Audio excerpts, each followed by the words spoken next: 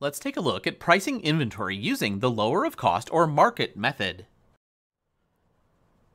When the market price or current replacement price of an inventory item declines below the actual price paid for the item, companies are permitted to use a method known as the lower of cost or market LCM rule. This method takes into account such market conditions as severely falling prices, changing fashions or styles, or obsolete inventory items. The use of the LCM rule assumes that decreases in replacement costs will be accompanied by appropriate decreases in selling prices. The lower of cost or market means comparing the market value, current replacement cost, of each item on hand with its cost, using the lower amount as its inventory value. You, under ordinary circumstances, market value means the usual price paid based on the volume of merchandise normally ordered by the firm. Here are the steps to calculating inventory using LCM. Step 1. Calculate the cost of each item in the inventory by using one of the acceptable methods, FIFO, LIFO, or weighted average. Step 2. Determine the market price or current replacement cost for each item.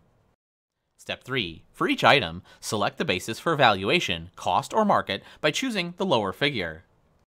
Step 4. Calculate the total amount of each inventory item by multiplying the number of items by the valuation price chosen in Step 3.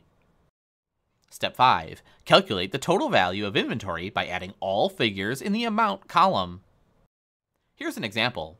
The following data represent the inventory figures of Sundance Boutique, use the lower of cost or market rule to calculate the extended amount for each item and the total value of the inventory. The following data represents the inventory figures of the boutique.